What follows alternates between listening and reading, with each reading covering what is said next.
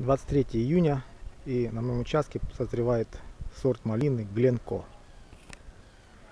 Э, В этом сезоне она меня очень радует своим урожаем. То есть обилие урожая просто завораживает. В прошлом сезоне у меня были э, неоднозначные мнения по поводу этого сорта. Было не очень стабильное опыление.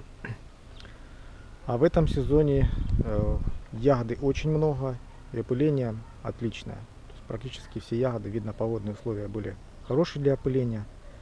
Ягода нормальная, э, опыление было хорошим и урожай, конечно, на лицо. Что хотелось бы сказать по поводу этого гибрида? Ну, на мой взгляд, это альтернатива и отличная замена обычной малины. Э, Обычную малину я выбросил три года тому назад. По причине того, что э, урожай небольшой, места занимает много э, и дает очень много поросли. Была у меня ремонтантная малина, и я ее, конечно, удалил, посадил три ряда, сделал полив, шпалеру, но она начала выходить за рамки отведенного места, и некогда мне заниматься выкорчевыванием э, поросли. Э, Плюс э, галится на ней, ну, также тля, в общем, э, надо профилактические обработки делать. То есть ничем не отличается от э, э, тех мероприятий по э, такой культуре, как ежевика и ее гибриды. Но отдача, конечно, м, м, очень высокая от гибридов, в отличие от э, обычной малины. Поэтому я без сожаления удалил ее, именно без сожаления. Э, Мой знакомый, э, когда я удалял обычную малину, говорил, ты что, как можно? Ну, прошло три года, в этом году у него и у меня мы вместе с ним приобретали ежемалину Тайбери.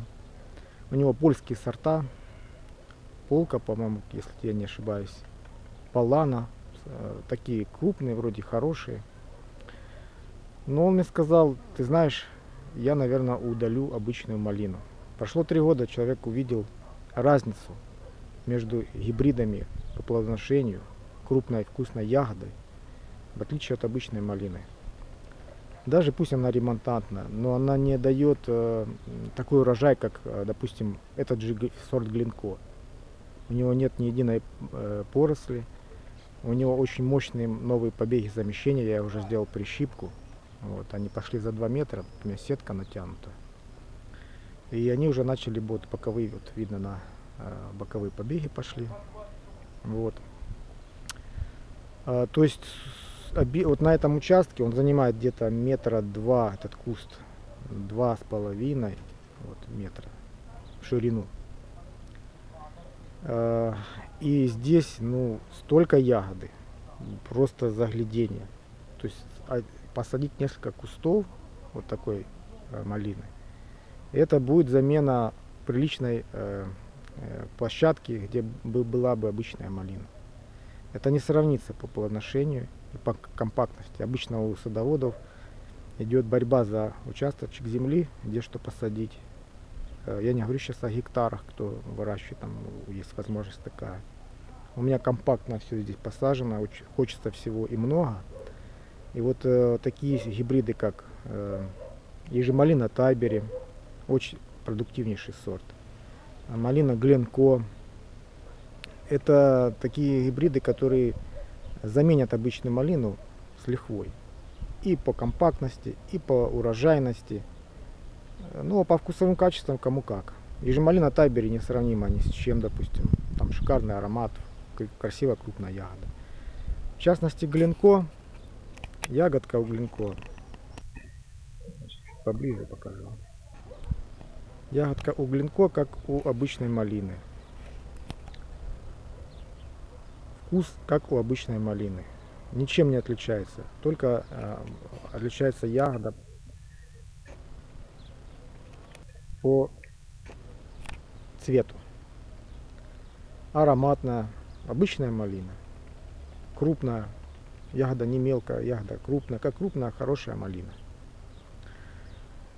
Поэтому я всем рекомендую сажать вот такие гибриды, особенно тем, у кого идет борьба за клочок земли, и каждая культура хочет получить достойное место, чтобы была отдача продуктивная, чтобы был э, результат и человек получал удовольствие от тех ягод, от той культуры, которая занимает небольшое место, но э, с прекрасной отдачей.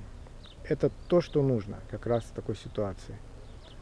Отличный урожай, море ягоды, просто смотришь и любуйся. Этот вкус молодой, я думаю, что на следующий год вот пошли мощные порослевые побеги. Это, по-моему, третья вегетация на, это, на этом кусту. Вот.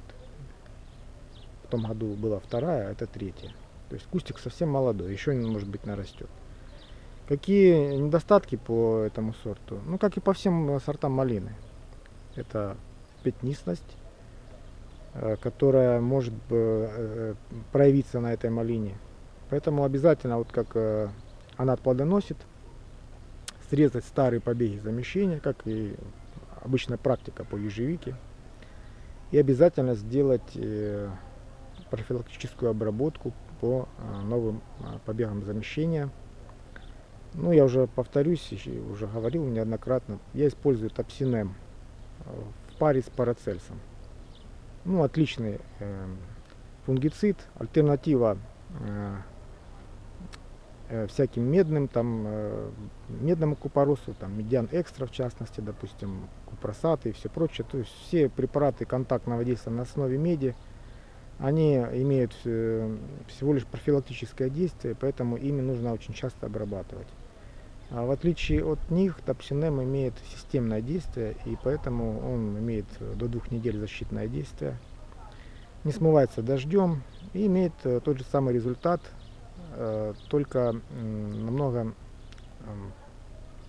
лучше, так как э, проникает в растения и э, останавливает очаги болезни, чего не делает уже медсодержащий препарат. Они, они только до того как. Этот же имеет и останавливающий эффект, и растение восстанавливается и продолжает вегетировать. Парацельс также очень хороший системный фунгицид. Я его использую в сочетании, пусть э, будет э, в дополнении и тот, и тот хороший фунгицид, но в дополнение это будет лучший результат. Так что э, у меня очень положительный отзыв по этому сорту, сорту Гленко. Сажайте, не пожалеете, красивая вкусная ягода и очень урожайная.